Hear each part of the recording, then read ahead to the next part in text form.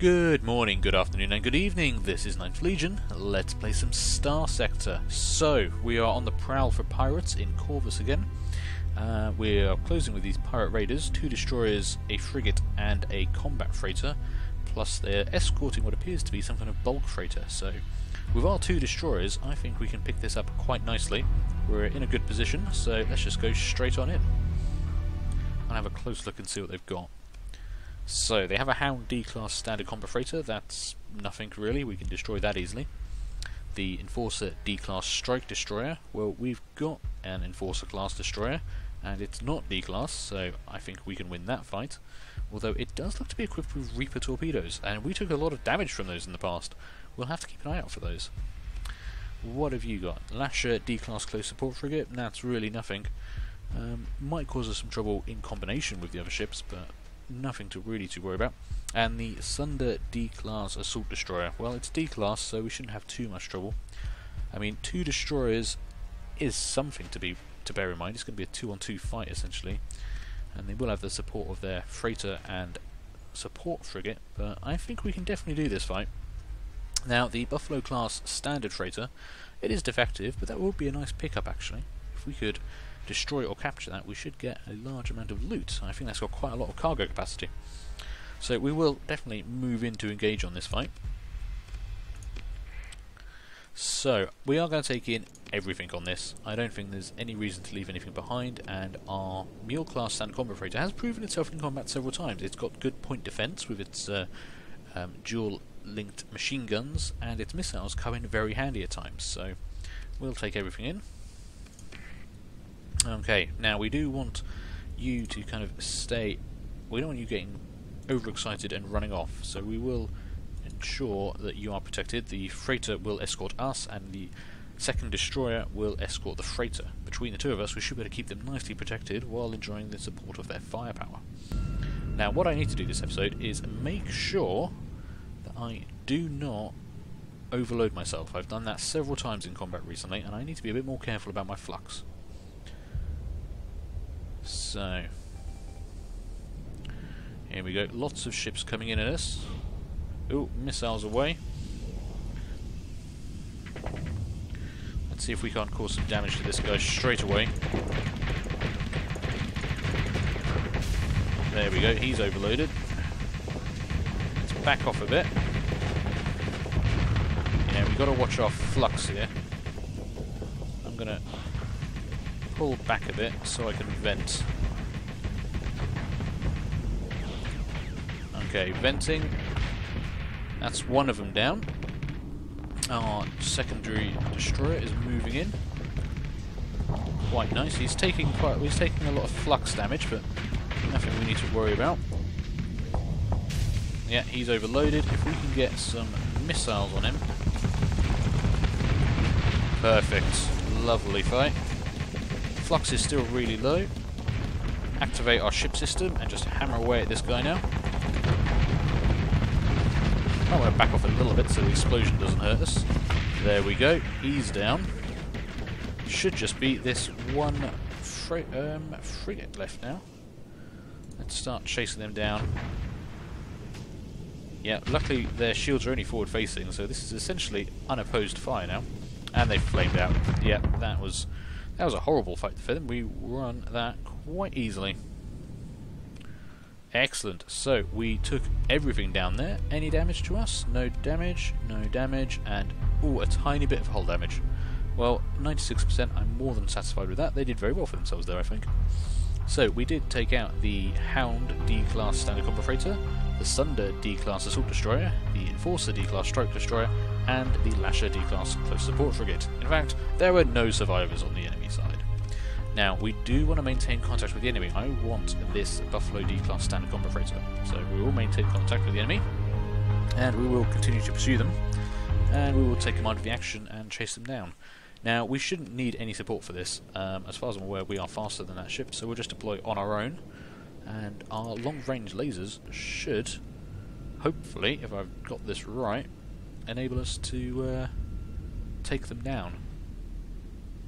Yeah, we are closing with them. Lasers are firing. Now they do have a shield there, so we're going to want to get in a little bit closer so our thumpers can open fire. But ideally, I'm not seeing anything shooting at us. There we go. Lovely. And back off a bit. There we go. Now hopefully we caused very little damage to them. We might even be able to capture that. That would be brilliant. So there we go. All five of them have been destroyed or disabled. We will stand down. Oh, okay. Doesn't look like we got that one, but the Enforcer D-Class. Interesting. Six life signs on board. I think we will make a chance to try and capture that, but I don't want to risk it exploding. An exploding destroyer could really badly damage any of our ships. And if you saw the last episode, we were talking about picking up a fast shuttle for use as a kind of pursuit craft for fleeing frigates and the like that we want to chase down, but also to use as a boarding craft, a dedicated boarding craft, so it wouldn't cost us too much if we lost something. So I will organise a boarding task force, and we will use ourselves for this, but we are not going to hard dock to the ship. I don't think I'm going to risk that. Six life signs on board. I think if we send in 15 crew, that should be more than enough. And we will launch the assault teams from a distance. It means they'll be at a disadvantage, but we've got a 3 to 1 ratio there, so Actually, that's not quite 3 to 1, is it? Let's make it 18, and it's definitely a 3 to 1 ratio. So we will launch the assault teams from a distance. Okay. So the assault teams are launched from about a kilometre out and approach the hull in waves, using personal propulsion systems to brake on the final approach. The defenders have an opportunity to fire on the landing forces with impunity until enough teams land to push inside the hull. Okay. At the last minute, the enemy ship regains propulsion and is able to alter its trajectory enough to avoid most of the incoming attackers gaining enough time to get away. After a recovery effort, three crew and no marines remain unaccounted for. Oh lord, they actually escaped. That's rubbish. I wasn't expecting that to happen at all. On 8% hull integrity. They are very badly damaged. So we still get 485 credits from the CPU cores active in the wreckage. We're having no luck capturing stuff at the moment. It's just, it's all absolutely awful. What do we get out of that? Well, we got picked up another pulse laser.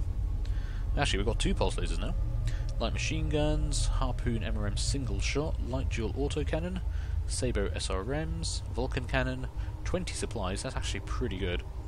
Uh, a little bit of fuel, always useful, heavy machinery, and some metals. So we will just take all of that, confirm and continue. So that was a thousand experience for us and crew. And we should get, yeah, so they've just got that one destroyer running away from us. At 5,400 credit bounty. Not terrible. Got a little bit of damage repairing, so our supply usage is very high. And we could actually chase that down and destroy it again. I mean, it is a destroyer, so it's going to be... It's a, it's a worthwhile pickup, and it's badly damaged. It's not going to take us any time at all.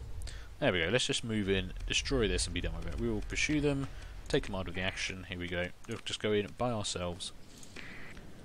This is a... Uh, yeah, they are... They're this isn't a fight, this is an execution. Or slaughter, I'm not sure. Either way, they're just kind of doomed. There we go. This is... oh god. It's it's terrible to watch, actually. They're... Ooh. Yes, there, there's nothing to be proud of here. We just put a wounded animal out of its misery, that's all that happened there. Okay, so we will stand down again. 221 credits from that. Uh, a bunch more stuff. Very nice. Take that. Thank you very much. How much do we get for a single destroyer there? 1800 credits. And that's the bounty from Asteroids. That's 900 credits for a frigate and 1800 for a destroyer. So it just doubles. Now I wonder if it's 3600 for a cruiser. Not that we've actually seen any pirates with a cruiser yet that I can remember, but still. That was a nice little pickup. Um, and it looks like there's someone else coming to join the party. There are some pirate scouts very nearby. Well, I think we'll take a look at them. We are still pretty good on supplies. What have they got? Two lashers and a hound. I don't see an issue with taking them out. Um, we do have a speed advantage, luckily. There we go. So they've got a Alasha D-class close support frigate. They have a Cerberus D-class standard combat freighter and a Lasher D-class close support frigate. Again, this is nothing really. This is this is nothing. Let's pursue them. We will engage. Take them out of the action. Um, you're, yeah, everyone's ready to go. Do we need both destroyers for this? I mean, it would it would save supplies if we um, just went in by ourselves. Three frigates? I mean, we've certainly taken on worst odds, I'm sure. Uh, supplies aren't very expensive, though. I don't really want to risk something happening, me just being a complete idiot and losing a battle that I could, couldn't possibly lose. Let's come in with our friend. They can just... Um, not even going to bother giving them orders, though. Is um, Doesn't really seem worth it, to be honest. Are they just running straight away? Uh, he, he was thinking about running. He was thinking about running, but he's not really going to manage it. There we go. We're already hitting them. They are a little bit faster than us. There we go. We got a hit there. I think the other two have just legged it entirely. Very disappointing. I expect more. I expect a better show from Pirates. Hmm. And see, this is where a shuttle, a well-armed shuttle, could come in very useful. They wouldn't be able to just, you know, run away like this. Unfortunately, we have lost sight of them entirely. Possibly I should have just brought the one destroyer in. They might not have fled in that situation. That's something I didn't consider. Let's see, what are you doing? Well, we don't know where they are. Order search and destroy. And you should now No, we don't know where they are. I was hoping they might kind of start running off after them. Did we actually order search and destroy? Yes. Go. Go, go, go. Please? Oh, they've actually taken the nav buoy. That's interesting. Did they intend to do that, or did they just take it while flying past it? Oh, we do have a visual on one of them, just but I think unfortunately, yeah, we're far too slow to catch up with them. Just a bit of a waste of time. So there we go. We will claim victory. Uh, there we go. We'll order our forces to stand down. So we did dis disable one of their ships, and we have a chance to capture it again. Ten life signs on board. Okay. Well, we'll do what we did last time we'll try and capture this. We will organise a boarding task force. We will use ourselves, and we will. Well, 10 life signs. We'll send in 20 crew, I think. Now, this is only a combat freighter. It's not a destroyer. It's a smaller ship. So I'm thinking we could actually risk hard docking and attacking ship to ship. Even if it explodes, it wouldn't cause that much damage to us. I think. I suppose there is only one way to find out. I mean, we've had no luck with trying to capture ships recently, so... Oh, screw it. Let's go for it. What's the worst that could happen? Okay, after overcoming all organized resistance and sweeping every compartment, the commander of the boarding party reports the enemy ship secured and ready to accept a prize crew. Excellent. So, the after action assessment indicates 10 crew were lost, no marines obviously, and the enemy lost 7 crew resisting the attack. So we did manage to capture it. That's brilliant. Okay, that's another good jump of experience for us. 2,500 experience. Uh, looks like we've leveled up or something there. Uh, we are short on crew now because we have to crew the ship we just captured. Uh, suppose we should head home. That was a 900 credit bounty for taking that. Hegemony and the Independence are both at 50, welcoming. Interesting. So I suppose we do want to head home. We are short on crew. We're down to 50 supplies. We've got a bunch of stuff to sell. I think that's been quite successful though. Now, I mean, there are... I am tempted here to see if we could pick up just one more group of pirates. But maybe we're getting greedy. Let's have a look actually. Let's just check out our character quickly. Oh, we did level up. Level 16. One aptitude point and two skill points. Well, I think from what I said last episode when we when we put some points into flux dynamics, I would like to unlock miniaturized capacitors at level 5. 100% more flux capacitors can be added to all ships in the fleet. That seems like it would be very powerful considering some of the flux issues we're having, especially on the Hammerhead Destroyer. So, if I put the aptitude point and both skill points in, that would allow us to level up to that. It would also increase our flux dissipation rate by 5% across the fleet.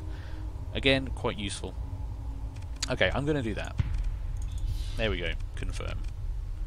Excellent. So we can head back, maybe see what we need to do to fit miniaturized capacitors to the rest of the ships we have. Um, so let's set a course for Jangala, shall we? There we go. So we've got a nice little fleet here, four ships. That Hound, actually, we are repairing. It's going to use all my supplies, isn't it? I always forget this. Let's turn off. Let's turn off by going into the actually, you know, the right thing. We will suspend repairs and recovery on that ship we captured. Don't want to be doing that right now. So right now, you're probably not worth very much at all, are you? Can't quite see prices on you. There we go. That will save us some supplies, just in case we run out on the way home. If we're using 13 a day, that's quite a lot. And unfortunately, the orbits of the planets are at the complete opposite at the moment, so it's the most travel we'll ever have to do in this system. Uh, local price updates. We could try and do some trading again. We've had a lot of combat recently. A lot of successful combat, may I add. Okay. So, I'm going to leave quickly because what we want to do is first we'll go to the fleet, we will turn that back on, and we want to repair this ship back up. Yeah, I think it's always going to be more valuable to do that. So we will need to repair our ships. We don't have enough supplies to do so, so we're going to have to buy a bunch, but they're only 44 credits each, that's actually very cheap. So, let me get rid of some stuff. What do we want to get rid of? I want to keep those two pulse lasers, they could come in really handy. Pulse lasers are a decent weapon. Uh, the PD lasers, again, yeah, keep a hold of those. They're not always the easiest thing to find on the open market. Um, Sabre SRMs, they're dime a dozen. Metal we'll get rid of. Light machine guns, harpoon MRMs, light dual autocannon, Vulcan cannons, yeah, all that stuff can go. We want to keep the, the nice expensive energy weapons for the time being. That's another 2,000 credits, that's quite good. And now we want to pick up some supplies, so we need to spend at least 17 repairing that ship.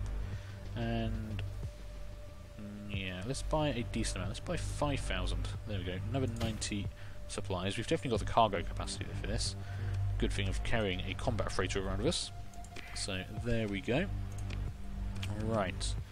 So repair all ships. Okay. And now sell ships. So 4,567 credits. That more than pays for itself. If you consider that it took 17 um, supplies to repair and refit the entire fleet, I mean, at 44 credits each, 44 times 17 is some kind of number that's a lot less than 4,567 credits. So I think that we come out ahead on that, most certainly. We will sell that and get rid of it. We don't really need a, a D-class combat freighter. They're, uh, as you've seen by how quickly we kill them, they're not really worth it. So we will just sell that straight away. Excellent. And someone else can be the proud owner of that ship. So that's a nice little profit for us there. And we should be okay on personnel now. We were a bit short. We're down to 163 crew. We have lost several in fights and boarding actions. Possibly we want to address that. Let's see. How, what's our makeup like? 28 elite crew. Lovely. 37 veteran crew, 71 standard crew, and 27 green crew. Well, they do have some veteran crew to buy, so we might as well pick those guys up. And we will take some standard crew, or green crew. I mean, they are cheaper. They are literally half the price. Yeah, let's pick up some more green crew. We can just train them up. Um, we'll get 30 of them.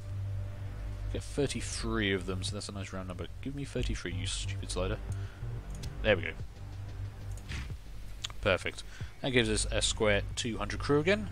Confirm that. Excellent. Right, well we've had pretty successful. Integrate those crew with five supplies. There we go.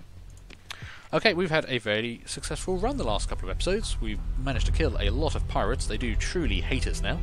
The Hegemony and Independence are much happier with us now, and our fleet is doing rather well for itself with two destroyers and a combat freighter, so I'm pretty happy. Um, we just need to keep making money and buying ships and then taking on bigger enemies. Possibly even some of the actual other factions. We may branch out into taking a look at the Tri-Tachyon Corporation, because they were very mean to us in the earlier episodes, and I don't like them. So maybe we'll see about getting a few more ships and taking a few pokes at them. I'm sure the he Hegemony won't mind that. But anyway, thank you for watching. Leave a like, leave a comment, and feel free to subscribe, and hopefully I will see you later. Bye!